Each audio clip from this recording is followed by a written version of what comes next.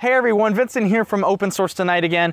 Wanted to make a video about my thoughts about snap packages versus apt packages or deb packages. Myself, I usually prefer to use a Debian package, a deb package or an apt package, depending on how you want to refer to it, over a snap package. And I'm going to explain to you why. I have a couple reasons. Number one, with apt packages, the actual people of either Debian or Ubuntu or whoever you're using, right, are actually checking to make sure these packages are safe. They're making sure they're not viruses and everything. And while in theory something might slip through every once in a while, it's unlikely.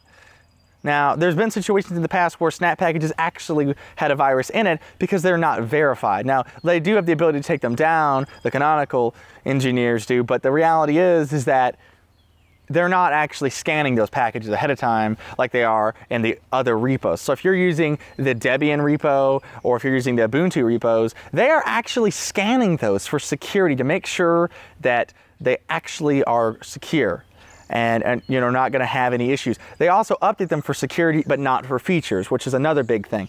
I actually like the fact that they hold software back on Ubuntu and Debian and stuff like that in the repos because it allows me to be able to get work done and not have to worry about waking up one morning and having a major change occur on me, right? I do not want to wake up tomorrow, update my system and have to be worried, oh no, something just updated and made a major UI change and I have to relearn everything and I need to get work done right now. I don't have time for this. With a snap, they auto update and that's something that can legitimately happen to you. So that's a big concern for me. So to summarize, my main concerns with Snap is security and auto updating. Now, I know that you can disable auto updating on Snaps. It's not officially supported, but there is a way to do it. There's a service that runs in the background of most systems that you can disable and it will stop updating. But again, then I'm not getting the security patches either. And I want security, but I don't want major UI changes. So for me, or major feature changes. So for me, I think I'm going to be staying on the apt package system slash Debian package system, the deb package system for now. Now that being said, I do occasionally install a snap package. For example, if I want to actually try out the latest and greatest, because it is separated from the system, I can install something and test it out and not have to worry about it breaking everything. It's self-contained.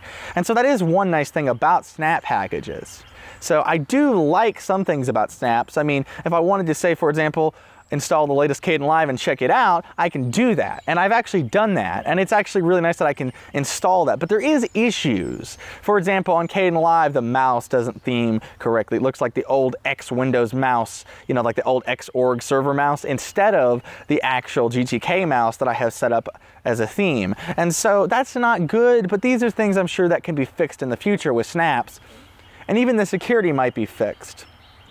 Okay, the final thing I do not like about snaps is not directly related to snaps, but indirectly, and that is Canonical, the people that make Ubuntu. If you do sudo apt install, for example, Chromium-browser right now, you won't get a Debian package that actually installs Chromium. Right now, you'll get a deb package that will then run a snap call and actually do a snap install of Google's Chromium. Now, I am not exactly a fan of that. Look, it's my system, and I believe that if I do an apt install command, I should get an apt package or a deb package install, not a snap package. Okay? This is Linux. One of the reasons I moved to Linux was so I could have control over my systems because these days it's kind of hard to do that on some other platforms, right? So again, I wanted to have control and Canonical's trying to take it away from me. So who knows? Maybe I'll make the switch away from Ubuntu at some point because I don't like this snaps being installed from apt packages, you know, without my approval. I do not like that. So in the future, I may move away. Who knows? I'm thinking right now Linux Mint might be a good option, but there's things I don't like about Linux Mint too. And I do like the GNOME desktop. So who knows where I'll end up in the future, but I've been using Ubuntu for a long time, and so I don't know. But the point is, is that right now, I like apt packages. I like using the apt repos right now because I do not have to worry about stability issues. I do not have to worry about issues around security, right? They're gonna make sure that these packages, for the most part, are stable you know and then again same thing for the security they're going to do their best they can to do security validation they don't do this on snaps and so For me, I'm staying with apps, but I do want to, uh, apt packages. So let me know in the comments, what do you think?